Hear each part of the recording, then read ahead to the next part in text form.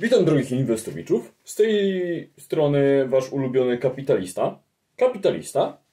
I dzisiaj zauważyłem, że jest jakiś jakiś podejrzany filmik na internecie, który mówi o jakimś o zgrozo, unikaniu podatków. Zobaczmy sobie razem, co tak naprawdę oni tam mówią. Niech zgadnę. Ty pewnie O, bardzo mi się to podoba. Pieniądze. Tak, tak, tak. To jest moja ulubiona rzecz. I o, o, o, o. Bardzo dobrze. O, jak ja kocham podatki. To byłem ja, nie chwaląc się. Bardzo dobrze, bardzo dobrze.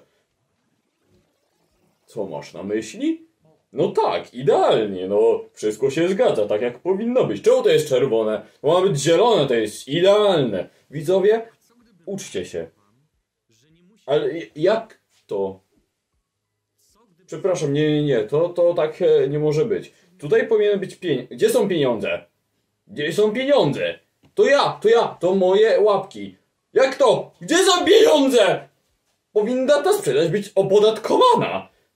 Jak to? Dobra, tutaj muszą być pieniądze. Ja, ja, ja muszę, przepraszam, widzowie, to jest bardzo emocjonujące. Ja, pieniędzy. Jak tak bez pieniędzy oni mogą robić? Przecież jak my mamy wtedy pobierać... Przepraszam, ja. Wy nie macie nic. Jak ja mam pobierać podatki od nich wszystkich?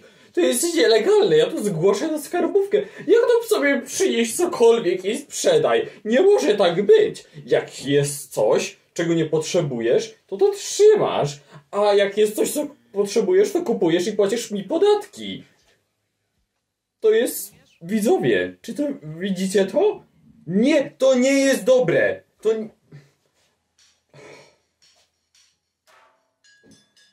Widzowie, mam nadzieję, że nie przyjdziecie dzisiaj na Gilopa i nigdy nawet o nie pomyślicie. Żegnam.